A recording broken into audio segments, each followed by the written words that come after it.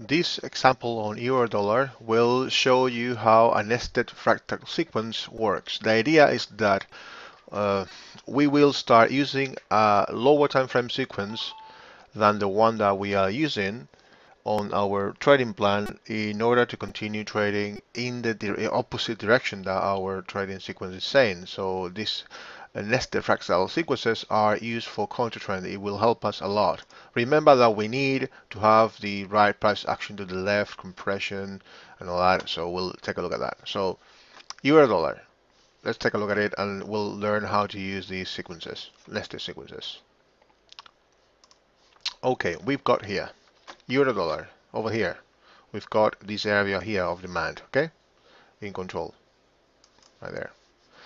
And uh, we've got uh, the uh, ascending trend line broken. The descending trend line is also after three CPs is broken. Okay, so monthly is out of alignment. Okay, so monthly is out of alignment, so we can start taking trend longs. But when or how do we can we start using trend longs? So if we are using a sequence, okay, a sequence like uh, let's say here we've got the monthly, weekly, daily sequence for our trading, then what we can do is we, we can start using another, let me use this, instead of this, I'm gonna start using a label, it's better. Okay, a label so it can stay there. So, okay, we start, we have this sequence. So the uh, top one time frame is out of alignment. So uh, it's telling us okay, we've got bearish engulfing pattern, we have to go short, but now we can allow we can take counter trend longs if we have the necessary and needed uh, patterns to the left. I mean, and the new levels of opposing areas of supply, even the higher time frame area of demand in control, which is here, all that tested, but still pushing higher. And then we start seeing bullish engulfing patterns. We start seeing also piercing patterns, as we can see here. So it is time maybe to switch to a lower time frame sequence, and that lower time frame sequence could be something like, okay, instead of monthly, weekly, we could use weekly, daily, H4. Okay, so now we go to the weekly area and we see that this is a weekly area of supply. So once we start getting these areas being removed, here we would have an area, an ascending trend line, okay? And we could start taking longs all there, over there on the way up. Uh, but we wanted, I wanted to cover the latest scenario, okay? So we know that we have this area taken out. Uh, we've got a bullish engulfing pattern here. We've got a big rallying price removing this area of supply. Okay, that remove. Okay, that this area of demand that remove this area of supply. So this area here, over here. Okay, removed this area over here. So this area has been removed. So this is supply. Okay, so once these areas of supply is removed, we could say we can start, we've got another trend on the weekly. On a, on a lower time frame sequence, we can drill down the sequence from this one to this one, okay, to start taking good trends. Or even if you are doing more intraday, okay, daily, H4, H1, okay. So once we've got one area of supply taken out and we've got uh, two valleys so two valleys plus trend line equals uptrend. Okay so here we've got the uptrend on the weekly okay after removing this area. So let's switch now to the daily. On the daily we've got an uptrend here After removing this is the, all this area here is the weekly area of supply. Tested and all and then it, breaks. So let's use the V key vertical line sorry. The ver uh, the vertical line for drawing here a level uh, line. So uh, we know what happened there okay?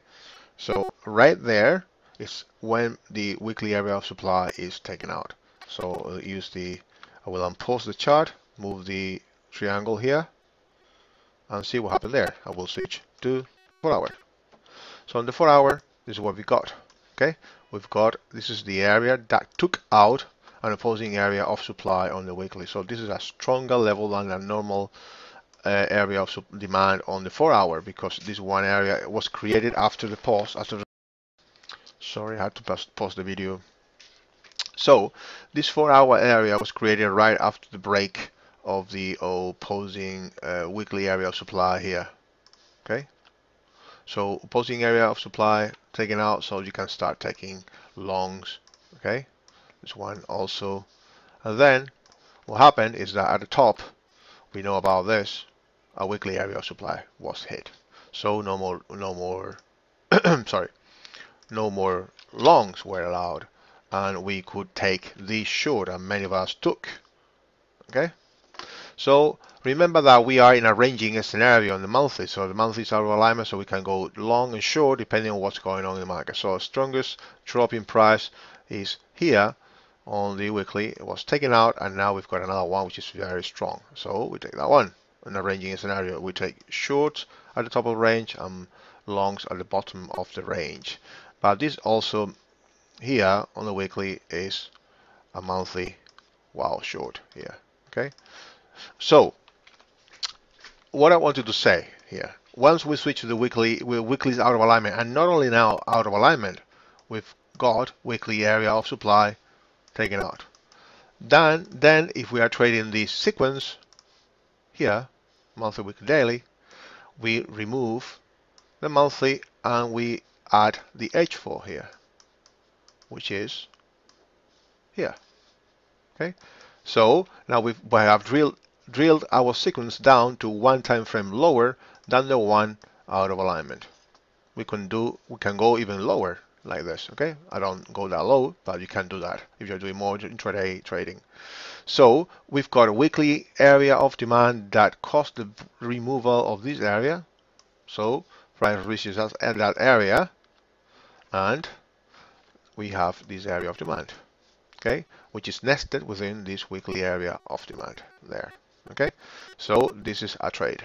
I didn't take that trade okay? Um these uh, nested fractal sequences is something that uh, I've had in mind for some time but it looks like it's making sense to use a lower time frame sequence in order to take content training when the market is telling us to do it.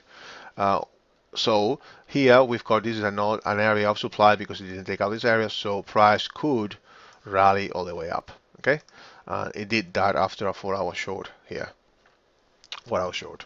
So this is an example of using one sec sorry of using the uh, how to drill down the uh, sequence from a week, monthly weekly daily to a weekly daily four hour fractal sequence for counter trend trading or trading in a range okay so that's this is an example Hope that it makes sense.